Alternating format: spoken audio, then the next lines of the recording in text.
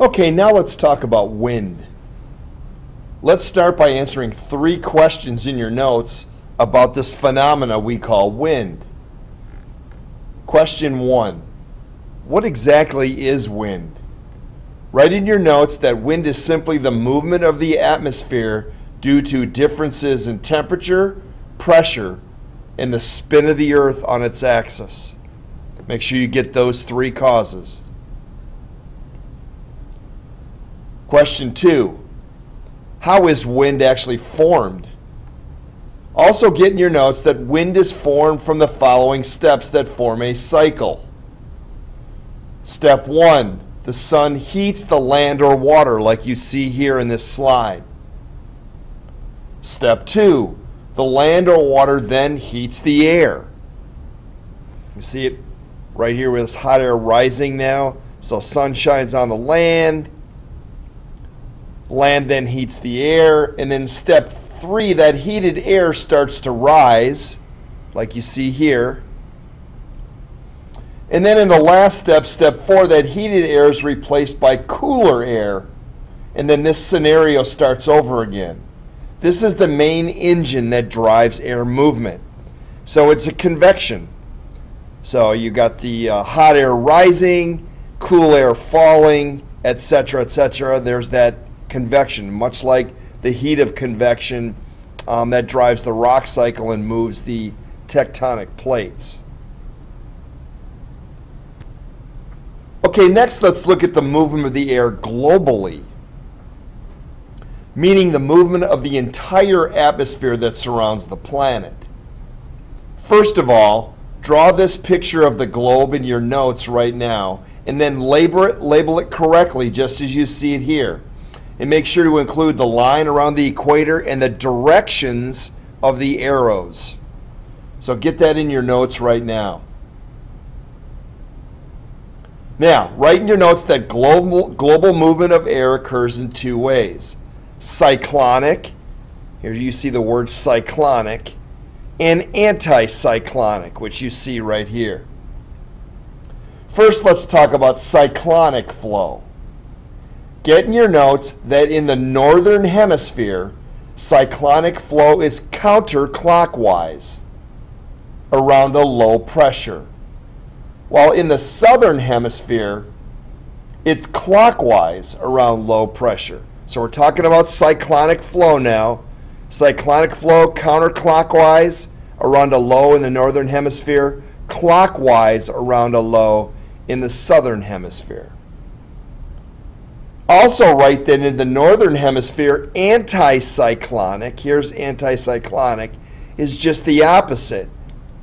Clockwise around a low in the northern hemisphere, counterclockwise around a low in the southern hemisphere. Now, this may seem confusing right now, but we'll clear it up later when we talk about weather systems. Now onto land and sea breezes. Now these concepts we call land and sea breezes also apply to larger bodies of water, so we can call them land and lake breezes as well. Write in your notes that the land and sea breezes happen because of the difference in the ability of land and sea to hold heat, and that air always moves from areas of coolest air to areas of warmest air. Now, let's talk about sea breeze here first. Here you see a sea breeze. Write that a sea breeze describes a wind that blows from the ocean or lake inland towards land, and that this breeze occurs most often in the spring and summer months because of the greater temperature difference between the ocean or lake in the nearby land. Now, in particular, it's during the afternoon when this land is at its maximum heating. So, air moves from the water, the cooler air right here, this way to the warmer air. Remember, air always moves from coolest to warmest. Question Why does this air move from water to land? If you said because it always moves from coolest to warmest, you'd be right. Now at night, the roles reverse. Write that in a land breeze, and here's our land breeze right here. Notice we have sun in the sea breeze and moon in the land breeze. So now, right that in a land breeze, the air over the ocean is now warmer than the air over the land because at night water is warmer because it holds heat longer. The land loses heat quickly after the sun goes down and the air above it cools too. Now, this can be compared to a blacktop road. During the day, the blacktop road heats up and becomes very hot to walk on. At night, however, the blacktop has given up that added heat and is cool to the touch. The ocean or lake, however, is able to hold on to this heat after the sun sets and not lose it as easily. This causes the low surface pressure to shift over the ocean during the night and the high pressure to move over to the land. This causes a small temperature difference between the ocean or lake surface and the land at night, and the wind will blow from land to the ocean, like you see here. So remember, land is cooler than the ocean at night because the ocean holds on to the heat longer. So that air will move now from land to the water.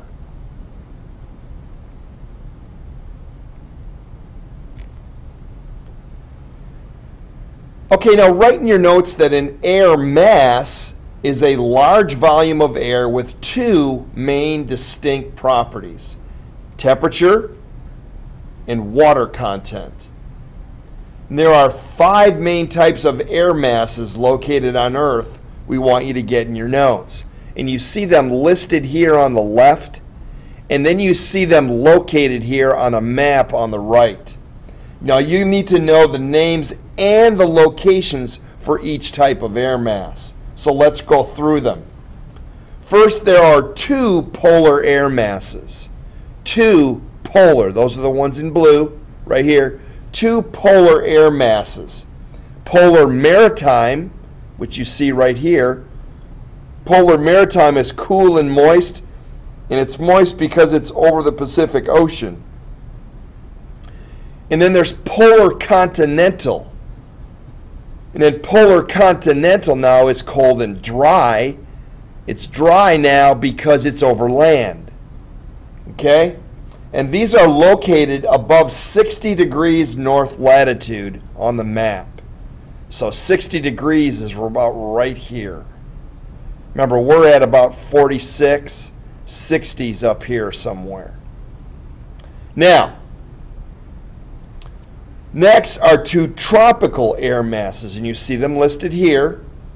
Tropical maritime, so here's your tropical maritime, located over both oceans. You see the Pacific here on the left and the Atlantic here on the right.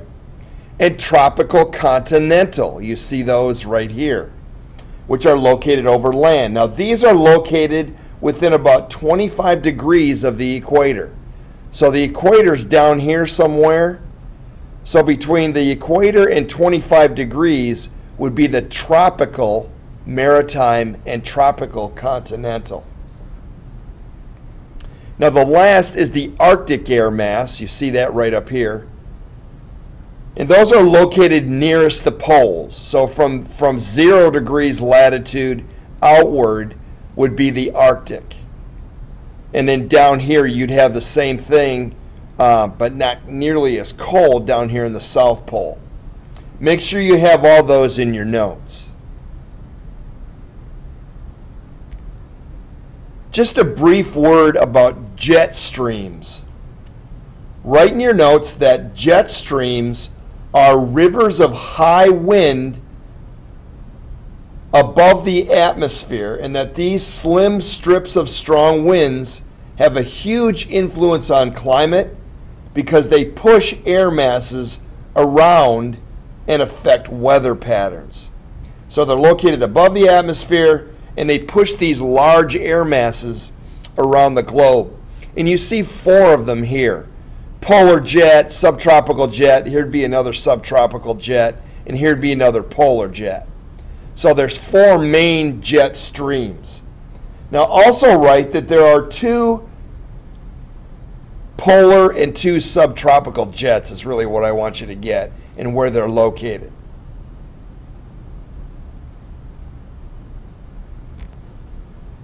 All right, now that we know the major types of air masses and the major force that moves them, let's move on to the kinds of fronts these masses can cause.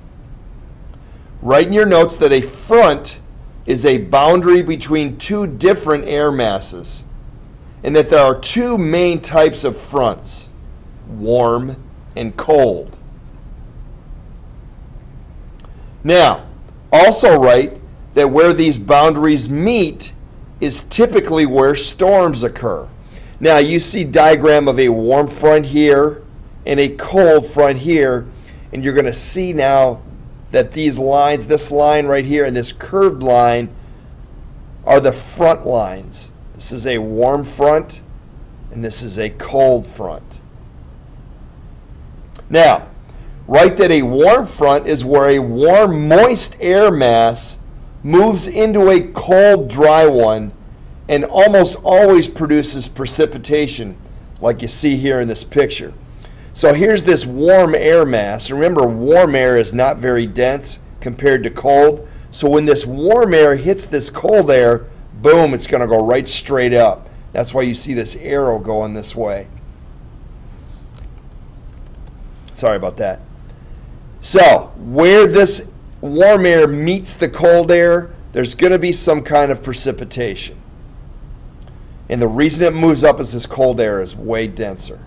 Now, a cold front is where cold air, here you see the cold air, moves into warm. So obviously this cold air is going to be able to push this warm front out of the way. And where those meet now is called a cold front. And then you see here uh, precipitation.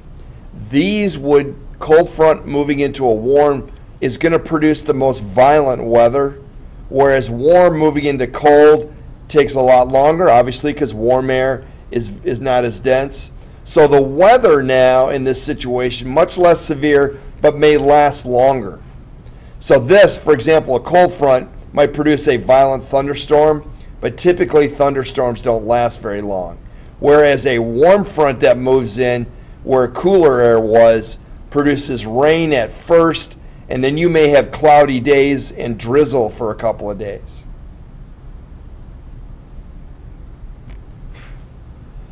Okay, when two different air masses meet, clouds form. So before we can understand storms, we need to understand how clouds form and what role they play in these storms. By the way, the clouds formed in Scotland are referred to as McClouds, which is where my clan got its name. Wrong. I just made that up. Okay, clouds can take on all sorts of shapes and sizes, ranging from thin, wispy cirrus clouds to large, dark, menacing cumulonimbus clouds. And while there are several factors that influence and affect the formation of clouds, the sun plays a major role in producing clouds. Let's explain how using a familiar term we use when we studied the rock cycle and that we just introduced a few slides ago convection. Now, to help understand basic cloud formation from convection, let's take a look at a field at sunrise at the beginning of the next podcast. So, this is the end of part three. So, take a picture of those notes from part two, submit them to Moodle, then go grab that study guide, answer the questions, and submit it when you're done. Okay, I'll see you then in part four of this podcast series on climates and weather in the atmosphere. Bye.